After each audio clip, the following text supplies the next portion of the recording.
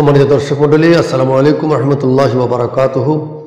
আমি আজকে আপনাদের উদ্দেশ্যে যে বিষয়টি পরিষ্কার করে দিতে চাই সেটি হচ্ছে পায়ুপথের রোগ, সবচেয়ে ভয়াবহ দুরারোগ্য রোগ পায়ুপথের পাইলস সম্পর্কে আমি আপনাদের বলতে চাই।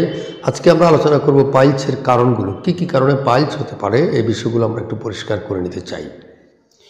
পাইলস যারা আক্রান্ত হচ্ছেন, তারা দুভাবেই প্রধানত হয়ে থাকেন। একটি হচ্ছে তারা এটা প্রাপ্ত হন, আর একটা হচ্ছে তারা অর্জিত হন বা অর্জন করেন। একটা হচ্ছে তারা প্রাপ্ত হয়ে থাকেন জেনেটিকভাবে, উত্তরাধিকার সূত্রে, অথবা তারা সেটাকে অর্জন করেন। যারা উত্তরাধিকার সূত্রে পান, তাদের বিষয়ে তেমন কোনো কথা নেই। এরপরও যারা উত্তরাধিকার সূত্রে পান না বা নিজেরা অর্জন করেন, তাদের বিষয়ে এখানে কিছু কারণ রয়েছে বিশেষভাবে? সেটি হচ্ছে, সে কারণগুলো যদি আপনাদের জানা থাকে তাহলে আপনারা এই কারণগুলোকে যদি এড়িয়ে যেতে পারেন, তাহলে পাইলস পায়ুপথের এই জঘন্য রোগ থেকে আপনারা মুক্ত থাকতে পারেন। তাহলে চলুন দেখি কি কি কারণে আমাদের পাইলস হতে পারে। সম্মানিত দর্শক মণ্ডলী, পাইলস হওয়ার জন্য বিশেষ কোনো কারণকে চিহ্নিত করা যায়নি এই অবধি। তবে কিছু কিছু কারণকে, সমন্বিত কারণকে আমরা পাইলসের কারণ বলে মনে করে থাকি। তার মধ্যে এক নম্বর হচ্ছে কোষ্ঠকাঠিন্য। কোষ্ঠকাঠিন্য, যাদের কোষ্ঠকাঠিন্য দীর্ঘমেয়াদীভাবে চলতে থাকে এবং পায়খানায় মলত্যাগ করতে গিয়ে যারা খুব সজোরে চাপ দিয়ে থাকেন, তাদের পাইলস হওয়ার সম্ভাবনা বেড়ে যায়। দু নম্বর হচ্ছে খাদ্যাখাদ্যের ভুল অভ্যাস।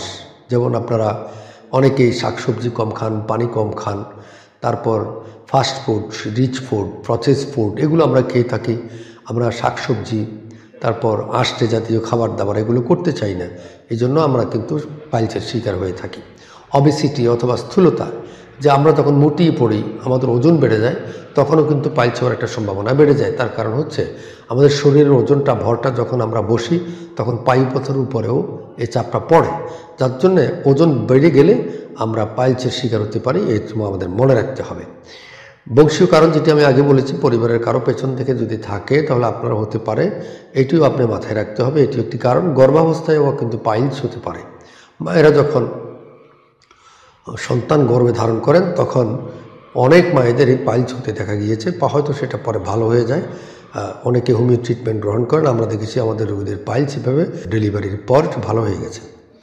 অতিমাত্রায় লেক্সোটিভ যারা ব্যবহার করে, যে এলোপ্যাথ প্রিপারেশনে যে সমস্ত লেক্সোডিপ লেক্সোডিপগুলো রয়েছে, এই লেক্সোডিপ যদি এভাবে কন্টিনিউ ব্যবহার করতে থাকে পায়খানাকে একটু সরল রাখার জন্যে, তাহলে আপনি পাইলসের শিকার হওয়ার সম্ভাবনা বেড়ে যেতে পারে। বিশেষ করে যারা কাজ করেন ভারোত্তোলনের কাজ, অথবা বিশেষ কোনো কারণে ভার উত্তোলন করতে হয়, এদেরও পাইল ছপার একটা সম্ভাবনা রয়েছে। এজন্য আপনি ভার উত্তোলন যদি করতে হয়, তাহলে এই পরিমাণ ভার উত্তোলন করতে হবে। আপনি লক্ষ্য রাখবেন যাতে করে ভার উত্তোলন করার সময় তার প্রেশার পিট হয়ে গুজ্জতার পর্যন্ত যেন না যায়। দীর্ঘ সময় বসে থাকলেও কিন্তু পাইলসের সম্ভাবনা রয়েছে। কারণ আপনি যখন দীর্ঘ সময় বসে বসে কাজ করেন, অফিসে থাকেন, তখন আপনার শরীরের যে ভারটা নিচের দিকে নামে, সেটা পায়ুপথের উপরে পড়ে। আর সেজন্য এটা যে কোনো সময় পাইলসের একটা জন্ম দিতে পারে পাইল সৃষ্টি করতে পারে। তো আশা করি এই জাতীয় অবস্থা যখন আপনি লক্ষ্য করবেন, আপনার মধ্যে তখনই আপনি একজন ভালো হোমিও ডাক্তারের শরণাপন্ন হবেন। কৃত্রিম কিংবা কোনো শৈল চিকিৎসার ক্ষেত্রে আপনি যদি নিজেকে সোপর্দ করেন, তাহলে আপনি আশি পার্সেন্ট বিপজ্জনক অবস্থার শিকার হওয়ার সম্ভাবনা অন্তত নব্বই পার্সেন্ট থেকে যাবে। সেজন্য আপনাকে সতর্ক ও সচেতন থাকতে হবে। আর আমাদের সাথেও আপনি যদি পরামর্শ করতে চান, আমাদের নাম্বার রয়েছে।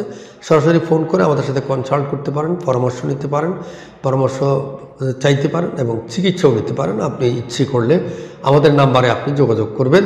আশা করি ভালো থাকবেন। পাইলসের কারণগুলো ভালো করে জেনে রাখবেন, যাতে করে এগুলো এড়িয়ে যেতে পারেন এবং পাইলস থেকে মুক্ত থাকতে পারেন। আশা করি ভালো থাকবেন। আসসালামু আলাইকুম।